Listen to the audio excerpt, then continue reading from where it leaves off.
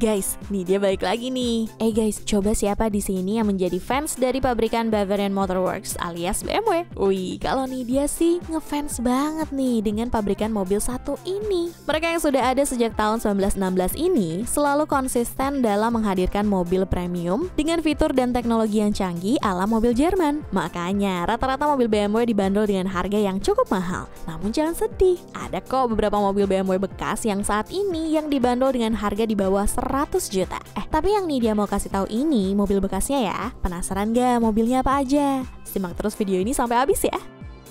Pertama yang tertua di daftar ini, Nidia mau rekomendasikan mobil yang mengisi segmen medium sedan BMW, yaitu BMW seri 5 dengan kode bodi E34. BMW dengan kode bodi E34 ini adalah BMW seri 5 generasi ketiga yang diproduksi dari tahun 1988 sampai tahun 1996. Dalam silsilah seri 5 BMW, E34 merupakan BMW yang bisa dibilang sedikit terlupakan nih, karena nggak sepopuler pendahulunya maupun penerusnya. Secara desain, di generasi ini ubahannya terlihat makin modern ini. BMW seri 5E34 ini udah nggak lagi mengotak kayak di generasi sebelumnya. Jadi makin aerodinamis gitu desainnya. Terus fitur keselamatan dan kenyamanan berkendara juga pertama kali dikembangkan di E34 ini, seperti rem ABS, pengontrol traksi, dan pengontrol stabilitas. Jadi, walaupun mobil tahun 80-an, tapi fitur keselamatannya bisa dibilang cukup mumpuni nih untuk bersaing dengan mobil zaman sekarang. Di Indonesia sendiri, mobil ini hadir dalam berbagai tipe. Awalnya BMW Indonesia hanya memasukkan tipe 520. M20i dengan mesin legendaris M20B20, yaitu mesin 2000cc 6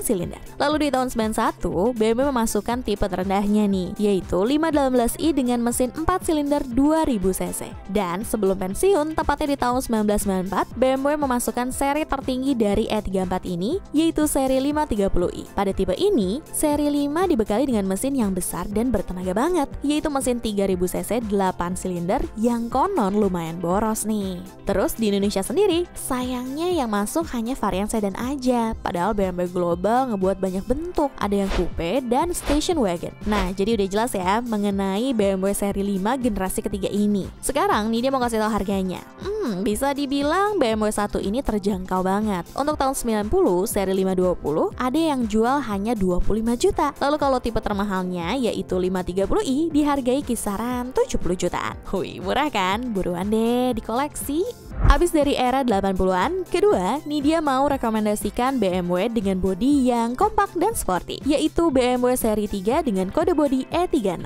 Bisa dibilang, E36 menjadi mobil yang mengawali era modern dan sporty di sedan BMW, karena mobil ini dirancang dengan mengedepankan faktor aerodinamis dan dipadukan dengan bentuk bodi yang sporty abis. Keren deh pokoknya. Hadir di Indonesia sejak tahun 90 hingga tahun 2000, BMW E36 ini merupakan generasi ketiga dari silsilah seri 3 BMW. Saat itu, BMW yakin model ini akan menjadi tulang punggung penjualan BMW di dalam negeri. Karena itulah, total ada 4 tipe dengan tiga pilihan mesin yang dibawa ke Indonesia. Tapi sayangnya, hanya model sedan 5 pintu aja nih yang dibawa ke sini. Padahal di luar sana, ada yang bentuknya sedan coupe 2 pintu, convertible, hingga station wagon. Hmm, kalau ngomongin tipe, di tipe terendahnya ada 318i dengan konfigurasi mesin 1800cc 4 silinder. Mesinnya dikenal dengan nama M40 yang juga dipasangkan di generasi sebelumnya. Lalu tipe menengah yaitu 320i dengan mesin 2000cc 6 silinder. Dan terakhir tipe tertinggi yaitu 323i dan 325i yang pakai mesin 2500cc 6 silinder. Dari mesin-mesin tersebut, banyak yang menganggap bahwa mesin 2500cc 6 silindernya yang paling cocok di mobil ini karena tenaga paling mumpuni.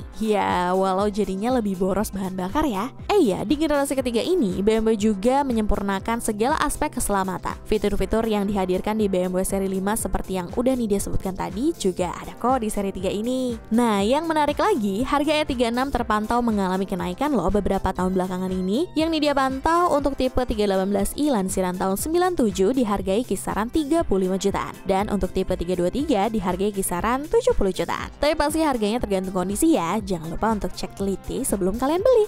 Ketiga, Nidia mau balik lagi merekomendasikan ke kalian mobil dengan jenis medium sedan nih, yaitu BMW seri 5 generasi keempat yang dikenal dengan kode bodi E39. Nah, seri 5 E39 ini secara tampilan sangat berubah nih dibanding dengan generasi sebelumnya yang tadi Nidia sebutkan. Secara desain lebih kelihatan ala-ala sedan modern yang elegan. Hal itu berkat penggunaan bentuk lampu angel eyes yang sudah menyatu dengan Mika serta kidney grill yang makin lebar. Nah, kalau ngomongin sejarahnya, seri 5 dengan kode bodi E39 ini pertama kali dijual di dunia pada tahun 95 hingga tahun 2004. Kalau di Indonesia sendiri, mobil ini baru hadir di tahun 96 dan hadir dalam dua tipe sekaligus, yaitu 525i dan 528i. Kedua tipe tersebut masing-masing dibekali mesin M52 yang berkapasitas 2500 dan 2800 cc 6 silinder. Nah, di generasi ini, teknologi Vanos sudah diberikan di semua lini mesinnya nih. Vanos itu merupakan teknologi yang dapat meningkatkan efisiensi di setiap putaran mesin BMW. Sehingga diklaim mesin Vanos ini lebih irit dibanding mesin yang non Vanos. Hmm, sebenarnya agak mirip kayak teknologi VVTi di mobil-mobil Jepang ya, yang ngebuat mesin lebih efisien kerjanya. Lalu kalau ngomongin teknologi, bisa dibilang seri 5 ini kayak akan fitur. Lampu sudah proyektor, jok sudah full elektrik, tirai elektrik, pengaturan setir elektrik, dan yang menarik di E39 ini menjadi sedan pertama BMW yang memakai fitur keselamatan airbag untuk pengemudi. Hingga saat ini, seri 5 E39 masih menjadi barang buruan para pecinta mobil Eropa loh. Untuk harga bekas tahun 97, Nidia pantau berkisar di angka 50 jutaan. Dan untuk varian LCI alias faceliftnya, untuk tahun 2002, mobil ini dihargai di kisaran 80 jutaan. Wih, menarik ya? Keempat nih dia mau rekomendasikan sedan kompak BMW yang mencatat rekor penjualan terbanyak sepanjang sejarah, yaitu BMW seri 3 dengan kode bodi E46.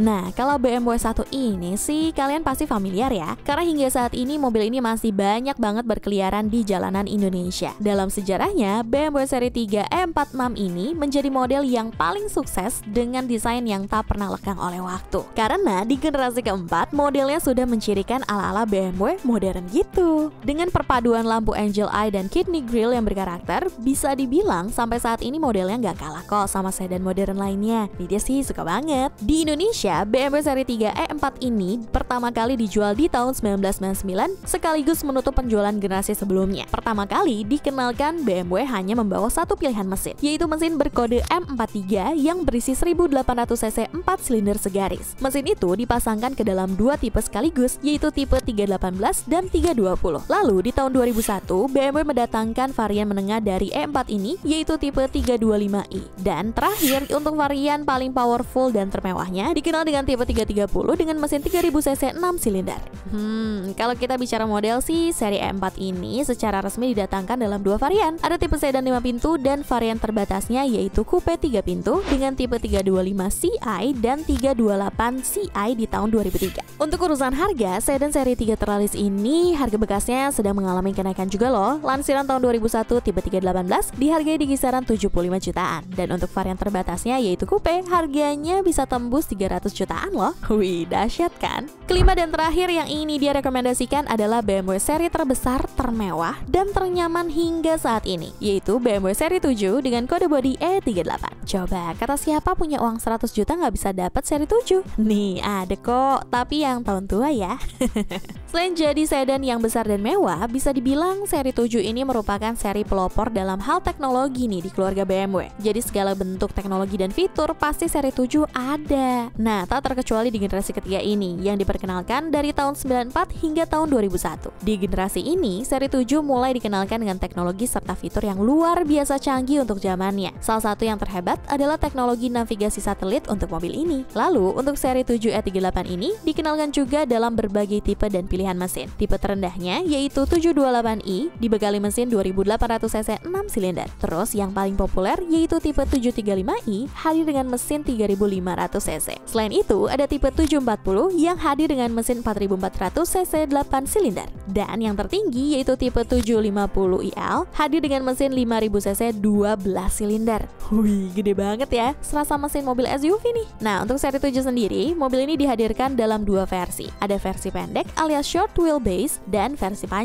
yaitu long wheelbase. Nah, di versi long wheelbase ini biasanya dipakai sama jajaran pejabat sampai presiden. Karena dari awal diciptakan dengan mesin besar, banyak yang nggak melirik mobil ini nih. Karena udah pasti konsumsi bahan bakarnya bisa dibilang boros banget. Tapi rasanya segala keborosan itu terbayarkan deh dengan kenyamanan dan kemewahan nomor satu di kelasnya. Asiknya, harga bekas dari mobil ini tuh dibanderol cukup terjangkau loh. Nih dia pantau tipe 730L tahun 97, harga bekasnya dibanderol seharga 75 juta. Terjangkau kan? Sikat deh.